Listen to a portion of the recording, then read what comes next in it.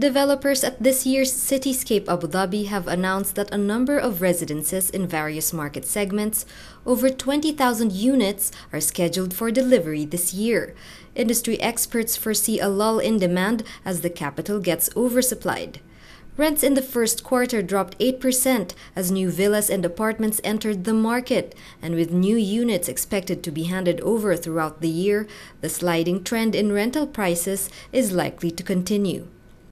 Investors may see this as bad news, but analysts say it is ultimately beneficial for Abu Dhabi's economy. This is actually very good news for Abu Dhabi. It makes it quite more competitive. It brings down rents, which, of course, um, companies here bear the cost, and it effectively brings down the employment costs here. So it encourages companies, it encourages job growth. Lenders say the decline in rents in the capital will have a big impact on the mortgage market.